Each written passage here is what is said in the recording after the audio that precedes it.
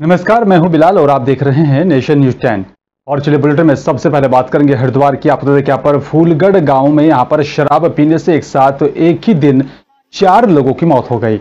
एक पखवाड़े के भीतर अगर बात करें तो यहाँ अब तक सात लोगों की मौत हो चुकी है। गाँव में जो है इस पूरे हादसे के बाद सन्नाटा पसरा हुआ है। यहाँ पर मातम देखा जा रहा है। पुलिस प्रशासन में भी हड़कम मचा हुआ है। पंचायत चुनावी प्रक्रिया के दौरान प्रत्याशियों की तरफ़ से बांटी जा रही यहाँ पर शराब से यह मौत हुई है। इस तरह का मामला निकलकर सामने आ रहा है। मृतकों के परिजन और साथ ही ग्रामीण जो है, ये आरोप लगा रहे हैं और पुलिस प्रशासन पर भी यहाँ पर कई गंभीर आरोप जो हैं, अवैध शराब की बिक्री को बढ़ावा देने के लग रहे हैं। आज का जी। बहुत दारू पी गई यहाँ से दुकान पर सामने रंजीतपुर का प्यागा। यो नाम का मुझे पता नहीं कौन सा प्यागा जब हमारा मर गया हम घर से भाग निकलते ही नहीं है। हैं आज चार लोग मरे दारू पी कर तो जी यहाँ इलेक्शन चल रहा और सब प्यारे। बाकी किसी को कोई रोक टोक है नहीं। तो जो लोग मरे उनके नाम क्या क्या हैं? उनके नाम तो जी एक का तो कक्के जी अरुण अरुण अरुण। एक विरम सिंह। एक बिरम सिंह है। एक अमरपाल एक अमरपाल है। एक राजू। एक राज। चार आज मरे इससे पहले कितनी डेथ हुई? है दो हुई थी उससे पहले तो। तीन हो चुकी तीन। तीन। दो तीन दिन के अंदर। इसी महीने के अंदर घर घर दालू काटे घर घर पी रहे लुगाई भी काट लुगाई काल इस काम तो दारू लोग काल रहे लुगाई काल दी। हमने तो बतेरी कोशिश करी हमने पार्टी करी हम तो घर घर फिर रखना था। घर घर फिर करना तो कोई मानना नहीं। चलो प्रधान की कितनी हो चुकी दारू चार है। का सेवन कर रही है। ये प्रधानों का दारू चल रही है फ़िलहाल। ये इसमें कच्ची दारू का सेवन कर रही है। पी के अगर आते कुछ खाना खुना कुछ खाते नहीं। वहाँ से पी के फिट होकर आ जा। अब बस आगे इन्हें कुछ खाने पीना कुछ पता नहीं। ये घर के सोचते कि पढ़ाया इसलिए इन पर कुछ डॉक्टर ध्यान दे नहीं पाते। इसलिए ये बस कच्ची दारू सेवन हो रहा है। कितनी मौत हो चुकी है सात हो चुकी है अब तक। सात मौत अभी तक इस महीने के अंदर अंदर। अकेले इस गाँव में जी। ये सब शराब पीने से हुई है सारी शराब पीने से हो रही है। शुरू में पेट में दर्द होता है दर्द के बाद फिर आँखों की रोशनी चली जा फिर उसके बाद उनकी डेथ हो जाती है। जहरीली शराब है क्या? सर जहरीली है। मध्य प्रदेश में यहाँ पर भारतीय जनता पार्टी की सरकार के मुख्यमंत्री के यहाँ पर शिवराज सिंह चौहान के कार्यकाल में यहाँ पर पोषण आहार परिवहन में 200 करोड़ रुपए के यहाँ पर घोटाला हुआ है और आपको बता दें कि यहाँ पर जो है, प्रेस को दी जानकारी में नगर अध्यक्ष संतोष त्रिपाठी ने बताया, पोषण आहार परिवहन में हुए यहाँ पर करोड़ों के घोटाले के विरोध में यहाँ पर शहर जिला कांग्रेस की ने यहाँ पर जो है, राष्ट्रपिता महात्मा गांधी जी के यहाँ पर प्रतिमा गोल मार्केट पर धरना प्रदर्शन किया और धरने में यहाँ पर बोलते हुए शहर जिलाध्यक्ष डॉक्टर राधेश्याम शर्मा ने यहाँ पर कहा कि जिस तरीके से यहाँ पर ये घोटाला हुआ है तो यहाँ पर इस घोटाले के आरोप लगातार जो है, जो लग रहे हैं इसके चलते यहाँ पर मुख्यमंत्री को अपने पद से इस्तीफा दे देना चाहिए।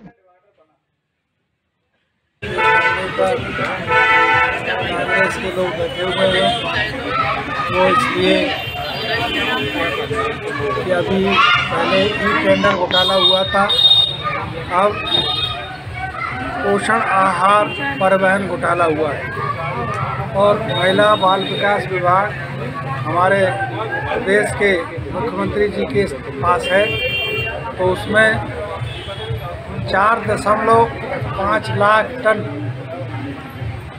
पोषण आहार का ट्रांसपोर्टेशन हुआ। गुना गोपाल मंदिर महाराष्ट्रियन समाज की तरफ़ से यहाँ पर गणेश उत्सव को काफ़ी धूमधाम के साथ मनाया गया और आपको बता दें कि यहाँ पर जो है अनंत चतुर्दशी के उपलक्ष्य में महाराष्ट्रियन समाज की तरफ़ से भगवान गणेश के विसर्जन के लिए यहाँ पर चल रहे समारोह को भी यहाँ पर उसका एक आयोजन किया गया, जिसमें यहाँ पर महाराष्ट्रियन समाज का बैंड की धुन पर यहाँ पर सभी भक्तों और साथ ही महिला पुरुषों ने यहाँ पर झूमते हुए उन सबको देखा गया। गणपति बापा मोरिया अगले बरस तू जल्दी आ के यहाँ पर जयकारे लगते रहे और साथ ही आपको दादा कि भक्त नाचते गाते हुए दिखाई दिए।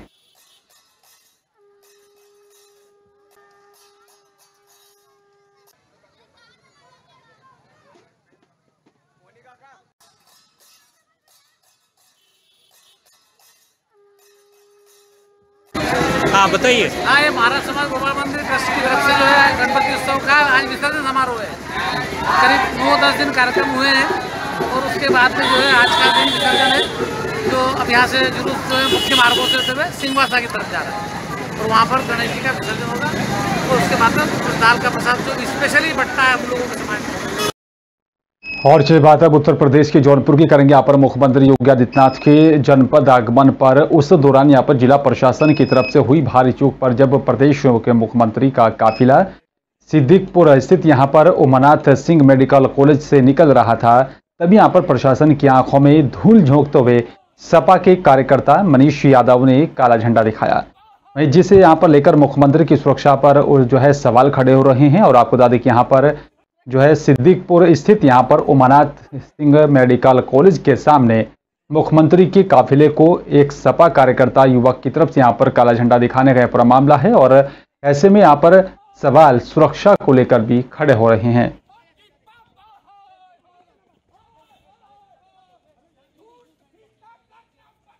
आप हाँ बताइए आप आप कैसे आप ऐसे मैं कर रहा हूँ। प्रशासन की कमी है। की सुरक्षा व्यवस्था से हम माननीय मुख्यमंत्री जी को सुरक्षा व्यवस्था होने के बावजूद भी काला झंडा दिखाया गया मुख्यमंत्री इस पे क्या कहेंगे मुख्यमंत्री की गाड़ी को काला झंडा दिखाया गया इस पे क्या कहेंगे कोई नहीं। नहीं एक सीएम की सुरक्षा व्यवस्था आपके ज़िम्मेदारी पे है। जौनपुर ज़िले के महाराजगंज में यहाँ पर आपको देख कि सदगुरु सदाफल देव विहगम योग संस्थान की तरफ़ से विश्वव्यापी जो है वेद यात्रा महोत्सव मनाया जा रहा है, जिसके क्रम में जौनपुर जिला के यहाँ पर महाराजगंज बाज़ार में वेद यात्रा निकाली गई और आपको बता दें कि यहाँ पर लोगों को जो है इस विषय में बताया गया। साथ साथ ही आपको बता दें कि यहाँ पर महामंदिर के भी विषय में बताया गया और जिसमें यहाँ पर संत विज्ञान देव जी की महाराज का भी यहाँ पर जो संकल्प है, जो है स्वर वेद का जो संदेश है, हर घर तक पहुँचाने की भी बात कही गई है। आपको बता दें कि यहाँ पर शारदा प्रसाद सेठ ने यहाँ पर बताया कि हम लोगों के परम आराध्य विहंगम योग के यहाँ पर प्रणता अध्यांतम मार्तंड बीस कला विभूषित यहाँ पर हिमालयन योगी अनंत श्री सदगुरु सदाफल देव जी के यहाँ पर महाराज की तरफ़ से रचित सर्ववेद विहंगम योग का महान जो है सदग्रंथ है।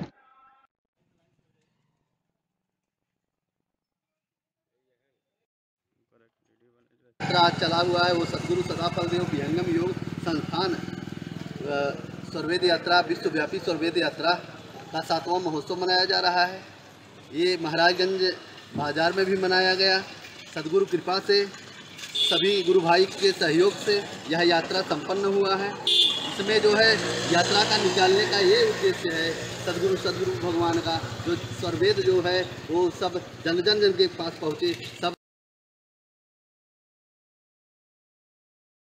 गुजरात की सूरत में गणेश जी के यहाँ पर विसर्जन के साथ ही बता दें कि यहाँ पर सेवाकारियों की लंबी कतार देखने को मिली है। गणेश विसर्जन के लिए यहाँ पर आने वाले लोगों के लिए यहाँ पर जगह जगह पर भंडार और साथ ही स्टॉल लगाकर गणेश भक्तों को यहाँ पर सेवा करते हुए देखा गया। श्रद्धालुओं के लिए खिचड़ी, पानी, छाछ की भी यहाँ पर जो है व्यवस्था की गई थी। आपको बता दें कि यहाँ पर यह भंडारे के साथ साथ सेवा का कार्य गणपति विसर्जन खत्म होने तक जारी रहा।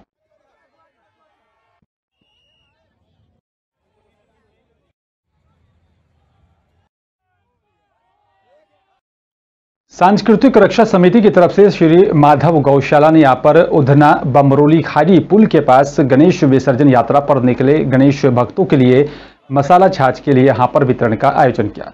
श्री माधव गौशाला ने यहाँ पर उधना, पांडेसरा, बमरोली, भेस्तान क्षेत्र में यहाँ पर भगवान गणेश की यात्रा पर निकले गणेश भक्तों की सेवा में मसाला छाछ का वितरण किया। साथ ही आपको बता दें कि सांस्कृतिक रक्षा समिति के संस्थापक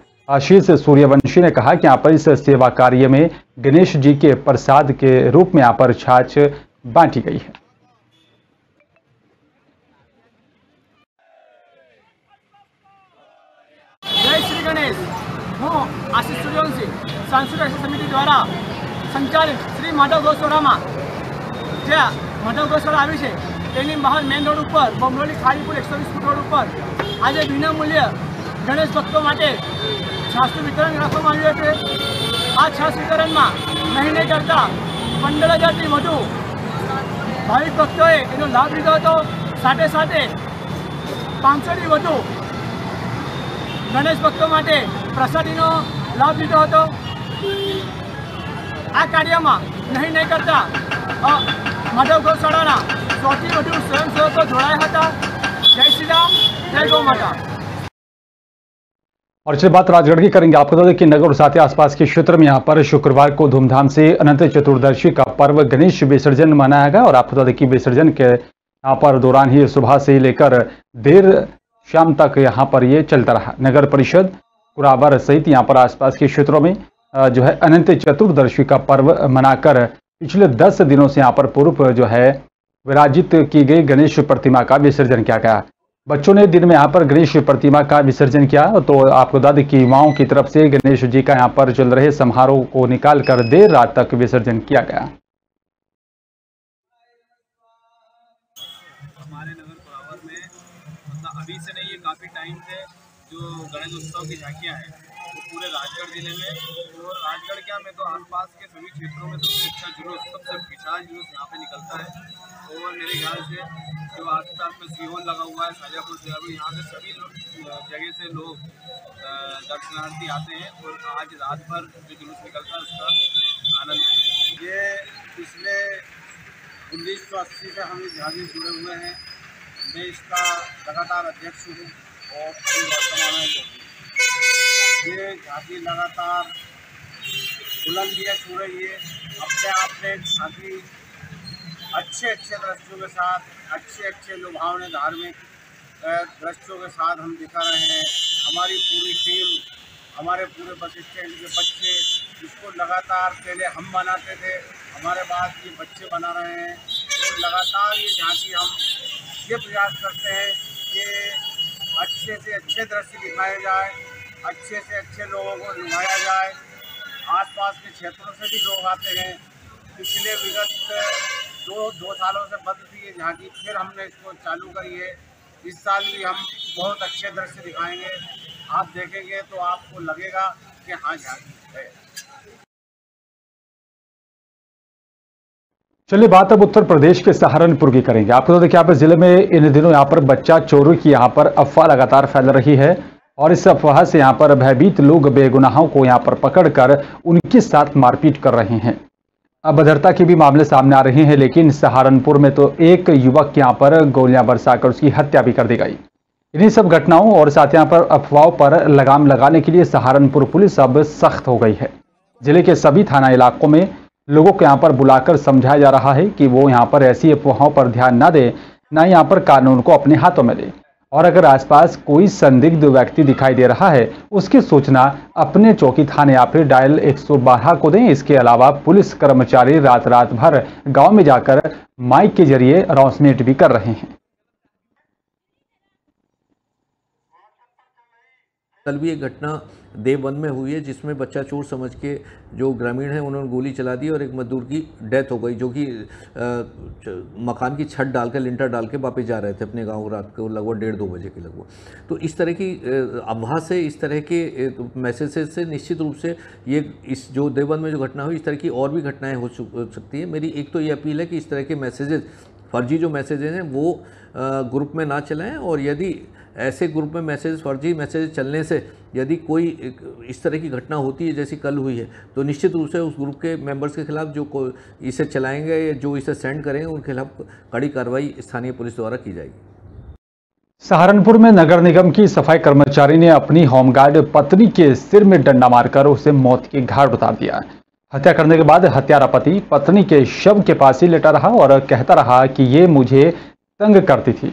इसलिए इसे मार डाला यह हैरान करने वाला पूरा मामला देहात कोतवाली क्षेत्र के काशीराम कॉलोनी का है। सिर में गंभीर चोट के कारण लक्ष्मी की मौके पर ही दर्दनाक मौत हो गई और बताया जा रहा है कि यहाँ पर पड़ोस के लोगों की सूचना पर पुलिस मौके पर पहुँची। घर में अंधेरा था और दरवाज़ा खुला पड़ा था। पुलिस ने मोबाइल की टोर्च जलाई तो सभी यहाँ पर दंग रह गए। विनोद पलंग पर पड़ा हुआ था और उसकी पत्नी मृत अवस्था में फर्श पर पड़ी हुई थी। पुलिस ने पूछताछ में जो है कि तब पता चला कि यहाँ पर शराब के नशे में था और बोला कि हर वक्त लड़ती रहती थी और मैं हत्या नहीं करना चाहता था, लेकिन सिर में डंडा लगने की वजह से उसकी मौत हो गई। थाना कोतवाली देहात के काशीराम कॉलोनी में एक पति पत्नी रहते थे। पत्नी, पति और पत्नी में कुछ आपस में कोई विवाद हुआ है। इसके बाद पति गुस्से में आकर अपने पत्नी के ऊपर डंडे से वार किया है। और उसके बाद उसकी डेथ हुई है। हत्यारोपी जो पति था उसको गिरफ़्तार कर लिया गया है। जो हत्यारोपी पति है वो नगर निगम में सफ़ाई कर्मचारी था और जो उसकी पत्नी थी, जो मृतिका है, वो होमगार्ड थी। इसमें अभियोग दर्ज किया गया है और इसको आरोपी गिरफ़्तार कर लिया गया है।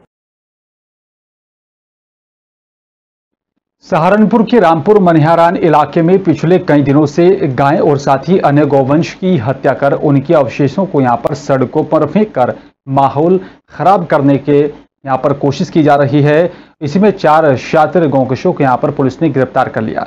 उनके पास से भारी मात्रा में गौवंश के यहाँ पर अवशेष और साथ ही औज़ार बरामद हुए। पुलिस के हत्या चढ़े इन आरोपियों के नाम खुशनूद, शमशेर आशु और साजिद है। इन पर पहले भी यहाँ पर गौवध जैसे कई संगीन मुकदमे दर्ज हैं।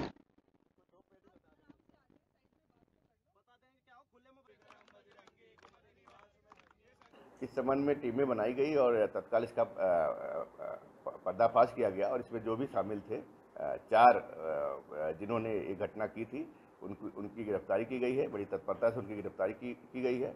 उन पे पूरी कार्रवाई की जा रही है। साथ ही अब हम इसमें ये भी देख रहे हैं कि और इसमें कौन कौन शामिल रहता है क्योंकि एक दो घटनाएँ पहले भी हुई है उनका भी हम पता कर रहे हैं। एक विशेष ड्राइव चला रहे हैं गोकशों के विरुद्ध जो पुराने दस साल के इस इस इस, तरह के अपराधों में लिप्त रहे हैं उनकी भी हम वर्तमान स्थिति का सत्यापन कर रहे हैं कि वो इसी इस तरह का अपराध कर रहे हैं कि नहीं कर रहे हैं। तो लगातार ये हमारा अभियान चल रहा है और पूर्ण रूप से हम इसमें जो गोकशी है उसमें स्थापित करेंगे। उमरिया ज़िले के पाली में नगरीय निकाय चुनाव प्रक्रिया के दौरान दोनों ही यहाँ पर राजनीतिक पार्टी से दावेदार निकलकर अपना नामांकन दाखिल कर रहे हैं और आपको बता दें कि यहाँ पर कांग्रेस और साथ ही भारतीय जनता पार्टी से दो लोगों ने नामांकन दाखिल किया है। साथ ही दो अन्य निर्दलीय प्रत्याशी के रूप में अपना नामांकन दाखिल किया है और आपको बता दें कि यहाँ पर जो है, दावेदारों ने अपना नामांकन पत्र प्रस्तुत किया। नगरीय क्षेत्र के वार्ड क्रमांक दो से बीजेपी पार्टी के नरेश वर्मन ने और साथ ही अपनी दावेदारी को पेश कर दिया है। और बताया जा रहा है कि यहाँ पर बीते कई सालों से भारतीय जनता पार्टी में अपनी सेवा दे रहे हैं और कई पदों का भी निर्वहन कर रहे हैं। अब वार्ड नंबर दो सामान्य वार्ड होने से यहाँ पर उन्हें भी यहाँ पर मौका मिलना चाहिए। नरेश वर्मन ने बताया कि यहाँ पर जनता का समर्थन प्राप्त है और अगर पार्टी से उन्हें यहाँ पर जो है प्रतीक चिन्ह नहीं भी यहाँ पर मिलता तो वो यहाँ पर निर्दलीय प्रत्याशी के रूप में चुनाव लड़ेंगे।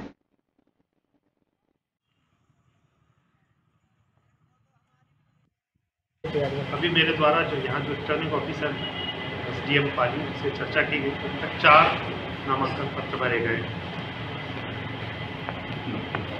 सर किन किन पार्टियों के अभी तक ये फॉर्म यहाँ आ चुके हैं? अभी ये तो मेरे द्वारा नहीं देखा गया लेकिन जहाँ तक मेरी जानकारी अभी पार्टियों द्वारा फॉर्म अभी नहीं भरे गए जो निर्जली फॉर्म आ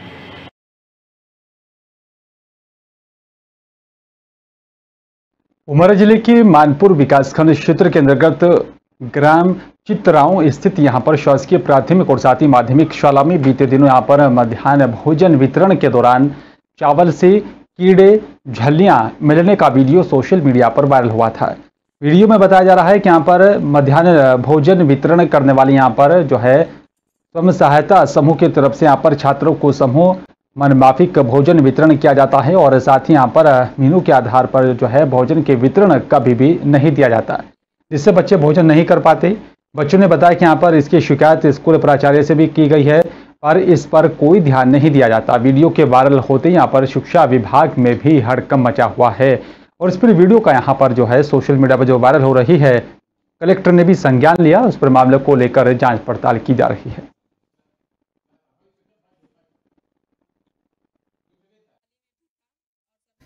थे सर बनाए थे अपने कैसे सर बनाए फटकी के बनाए। थे का करियो के अंदर होई त ओके अंदर घुसा होई त का जाने साहब? अब हमारो बच्चा यहाँ है अब हमारो करो बच्चा जाए यहाँ हम दूर- खुद खाना से खुद परेशान है अब वो चावल के के ठेका करके खुद ही नहीं खाए। बीन थी बड़ाई थी।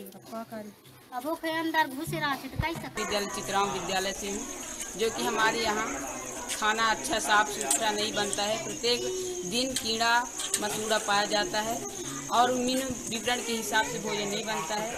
चावल के साथ तुअर की दाल सोमवार को बनना चाहिए था, वो नहीं बनता है। परवल, मंगलवार को खीर, पूड़ी, सब्ज़ी, तथा काड़ी बननी थी वो नहीं बनता है। जो वीडियो वायरल हुआ है उसमें इतना बारीक तो नहीं दिख रहा है, लेकिन जैसा बच्चे ने बताया है, उससे स्पष्ट हो रहा है कि कीड़े हैं। इसकी जाँच जन शिक्षक से कराई गई। उसके द्वारा भी बताया गया कि समूह की लापरवाही है, कि हैं तो समूह को पृथक किया जा रहा है, उसको मध्यान्ह भोजन के कार्य से पृथक कर दिया जाए लेकिन ये समाज की भी जवाबदारी है कि मध्याह्न भोजन में कहा जाता है कि सभी पालकों को प्रतिदिन निरीक्षण करना चाहिए उनके बच्चों के लिए भोजन कैसा बन रहा है। सब, सर्वाधिक प्रभावित यदि कोई खराब भोजन से या कीड़े भोजन से हो रहा है तो बच्चे हो रहे हैं। इसलिए मेरा सभी पालकों से, अभिभावकों से अनुरोध है वो प्रतिदिन निगरानी रखें यदि हमारा सिस्टम गड़बड़ है हमारे शिक्षक ध्यान नहीं दे रहे हैं तो किस प्रकार हम तक ध्यान में लाएँ सभी पर कार्रवाई की जाएगी। अब जैसे पाए थे सर जैसे बनाए थे अपने कैसे सर बनाए थे फटकी के बनाए थे का करियो के अंदर होई त ओके अंदर घुसा हुई तो कहा जाने साहब? अब हमारो बच्चा यहाँ है का करो जाई है। हम खुद दूर से खुद परेशान है अब वो चावल के के ठेका कर कर दी नहीं खाए। बीन थे बड़ाई थे। का करी? अब ओके अंदर घुसे रहा थे तो कैसे विद्यालय चित्राओं विद्यालय से हूँ जो कि हमारे यहाँ खाना अच्छा साफ़ सुथरा नहीं बनता है। प्रत्येक दिन कीड़ा मसूड़ा पाया जाता है और मीनू विवरण के हिसाब से भोजन नहीं बनता है। चावल के साथ तुअर की दाल सोमवार को बनना चाहिए था वो नहीं बनता है। परवल मंगलवार को खीर पूड़ी सब्ज़ी तथा कड़ी बननी थी वो नहीं बनता है। जो वायरल हुआ है उसमें इतना बारीक तो नहीं दिख रहा है, लेकिन जैसा बच्चे ने बताया है, उससे स्पष्ट हो रहा है कि कीड़े हैं। इसकी जाँच जन शिक्षक से कराई गई, उसके द्वारा भी बताया गया कि समूह की लापरवाही है कीड़े हैं तो समूह को पृथक किया जा रहा है, उसको मध्यान्ह भोजन के कार्य से पृथक कर दिया जा रहा है। लेकिन ये समाज की भी जवाबदारी है कि मध्याह्न भोजन में कहा जाता है कि सभी पालकों को प्रतिदिन निरीक्षण करना चाहिए, उनके बच्चों के लिए भोजन कैसा बन रहा है। सर्वाधिक प्रभावित यदि कोई खराब भोजन से या कीड़े भोजन से हो रहा है तो बच्चे हो रहे हैं। इसलिए मेरा सभी पालकों से, अभिभावकों से अनुरोध है कि वो प्रतिदिन निगरानी रखें। यदि हमारा सिस्टम गड़बड़ है, हमारे शिक्षक ध्यान नहीं दे रहे हैं तो किस प्रकार हम तक ध्यान में लाएँ, सभी पर कार्रवाई की जाएगी।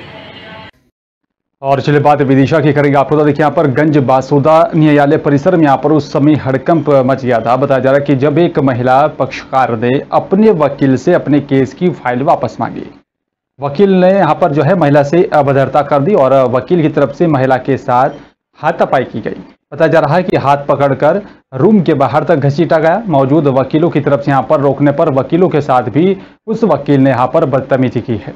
और इसके बाद बताया जा रहा है कि बार एसोसिएशन के यहाँ पर वकीलों की तरफ़ से उक्त वकील के खिलाफ थाने में एफआईआर दर्ज करवा दी गई है। गंज बासुदा में यहाँ पर आपको देखिए प्रैक्टिस करने वाली वकील अरविंद राणा की तरफ़ से अपनी पक्षकार महिला केस लड़ते हुए दो महीने से भी यहाँ पर उसे घुमाया जा रहा था। महिला की तरफ़ से अपने केस की यहाँ पर फ़ाइल को मांगने पर वकील ने इस तरह से उसके साथ हाथापाई की। हुआ तो तुम्हारे साथ? वकील साहब ने मारो है कौन वकील साहब? अरविंद राणा। क्यों? मैंने फ़ाइल मांगी। तुम्हारा कोई केस चल रहा है पहले से? केस चल रहा मेरे पति के खिलाफ। तो कौन वकील है? फिर क्या हुआ? उसने हमें मारा हम उसके घर गए उसके ऊपर गए हमने कही हमें अरविंद राणा की फ़ाइल चाहिए फ़ाइल चाहिए। तो बोलने लगी हमारे पास नहीं है भग जाए यहाँ से। हमें गाली बकी और भगा दिया फिर अब आप क्या थाने में? हाँ थाने में आए फिर हमें घसीट के हम ले आ रहे थे तो हमें से कुछ लोगों ने बचाया। लगातार शिकवा शिकायतें प्राप्त हो रही थी। अरविंद राणा। उनका कृत आचरण और व्यवहार जो कि एक अधिवक्ता का होना चाहिए उसके बिल्कुल प्रतिकूल है। आज दिनांक को एक महिला के लिए उनके द्वारा फ़ाइल वापस मांगने पर बेरहमी से उसके लिए हाथ पकड़ के खींचा गया उसके साथ में मारपीट की गई उसके साथ अभद्र व्यवहार किया गया। अरविंद राणा के पास उसका केस चल रहा था क्योंकि अरविंद राणा के द्वारा उस फ़ाइल लौटाने के लिए बीस हज़ार रुपये की अवैध मांग की गई। वह महिला गरीब असमर्थ थी इसलिए उसके द्वारा पैसे नहीं दिए गए और अपनी फ़ाइल की मांग की गई। इस पर अरविंद राणा ने बीस हज़ार रुपये की उससे मांग की। और जब वह महिला बीस हज़ार रुपये देने के लिए एग्री नहीं हुई, और इस बीच इस इस बात को लेके आपस में दोनों पक्षकारों का विवाद हो गया। और सम्माननीय वकील साहब हमारे अरविंद राणा जी के द्वारा उस महिला के साथ एक महिला के सम्मान के प्रतिकूल व्यवहार किया गया। उसे मारा गया, पीटा गया, घसीटा गया, और सभी लोगों के सामने उसके लिए अपमानित किया गया। मेरे द्वारा खुद उस महिला को बचाने का प्रयास किया तो मुझसे भी ये कहा कि आप बीच में नहीं बोलेंगे। फिर भी इसके बावजूद मैंने उस महिला को बचाया। और उनके साथ एक और महिला रहती, उस महिला ने आके मेरा हाथ पकड़ा के आप बीच वकील साहब के मामले में बीच में नहीं बोले। इस तरीके से किन्हीं भी महिलाओं को बुलवा के, किन्हीं भी सभ्य व्यक्तियों के खिलाफ शिकवा शिकायत उनके द्वारा कराई जाती है। आज ये देखने में आया कि जब वो महिला आज पेशी थी, उसकी वो फ़ाइल लेने के लिए इनके पास पहुँची, इनने फ़ाइल नहीं दी। वो सेक्रेटरी साहब के पास पहुँची, वहीं पर अरविंद राणा जी वकील साहब पहुँचे और इन्होंने उसको पकड़ के, उसके साथ जुमा जट की, उसको घसीट के, पकड़ के बाहर लाते हुए और दो तीन महिलाओं को और किन्हीं को इन्होंने बुला लिया फ़ोन करके कि चलो इसको थाने ले चलो। इस तरह से इन्होंने उसके साथ बहुत अभद्रता की और हमारी पूरी अधिवक्ता संघ को इन्होंने आज कलंकित किया है। कई वाक्य इनके साथ पहले हो चुके हैं, ये इस तरह से अधिवक्ताओं को कलंकित कर चुके हैं। लेकिन आज जब सर से ऊपर पानी हो गया, वार रूम के अंदर भी इनने एक महिला के साथ अभद्रता की और उसके मान सम्मान को भी ठेस पहुंचाई तो फिर अभिभाषक संघ को खुल के सामने आना पड़ा और हमारे अध्यक्ष और सेक्रेटरी साहब आज धन्यवाद के पात्र हैं कि वो सारे अभिभाषक संघ के साथियों को लेकर थाने आए हैं और टीआई साहब से बात हुई, उनको सारा वाक्य सुनाया है। उस महिला की तरफ़ से एफआईआर दर्ज हो रही है। चलिए, बात अब कल्याण शरीफ की करेंगे। आपको बता दें कि यहाँ पर कल्याण थाना प्रभारी मनोहर सिंह भंडारी ने बताया कि यहाँ पर उच्च अधिकारियों के निर्देश पर थाना क्षेत्र में यहाँ पर नशे और आपराधिक घटनाओं पर रोकथाम लगाने के लिए यहाँ पर जो है, शाम को जो है लगातार कार्रवाई की जा रही है और ऐसा नरेंद्र सिंह टीम के साथ संदिग्ध वाहनों की चेकिंग कर रहे थे। इसी दौरान बताया जा रहा है कि यहाँ पर बेड़पुर चौकर से यहाँ पर माजरी तिराहे पर पहुँचे तो यहाँ पर मेहवड़, नागल, इमली खेड़ा रोड पर यहाँ पर एक युवक आता हुआ दिखाई दिया। पुलिस को देखकर उसने भागने की कोशिश की और बताया जा रहा है कि यहाँ पर पुलिस को शक होने पर घेराबंदी की और युवक को जब पकड़ लिया, बताया जा रहा है कि यहाँ पर उसकी तलाशी लेने पर उसके पास से 10 पत्तों में 600 नशे की प्रतिबंधित गोलियाँ और साथ ही 810 रुपए की नकदी बरामद हुई। पुलिस ने उससे पूछताछ की और कई खुलासे हुए।